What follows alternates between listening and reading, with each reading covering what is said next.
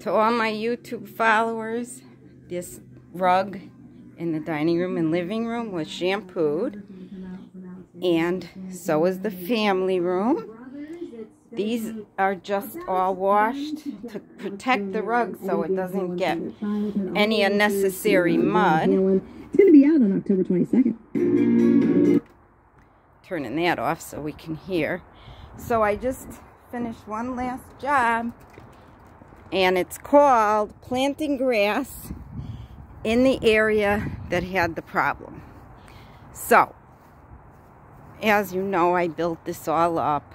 Royce built the trench. This is all grass seed now. And beyond that point, we will put maybe um, mulch. So I planted the grass.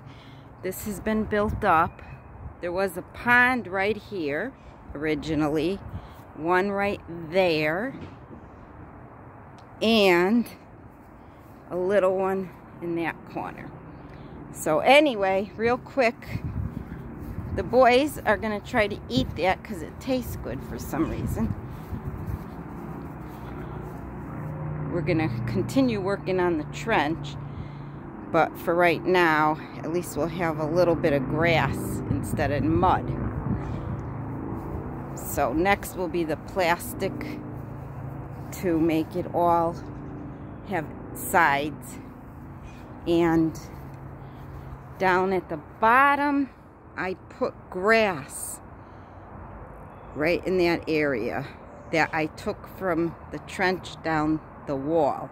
Hopefully it takes. Um, it was very low and there was a pond there also. And Bruno's right here. And where's Rocky? Rocky, out of there. I don't want you trying to dig. No, come. Come. Good boy. And here I am. I dyed my hair yesterday. There's the back of our house. I'm a little muddy, but gonna pop in the shower. Okay, wish us luck that it grows. And we finish the trench, the sides, and some rock.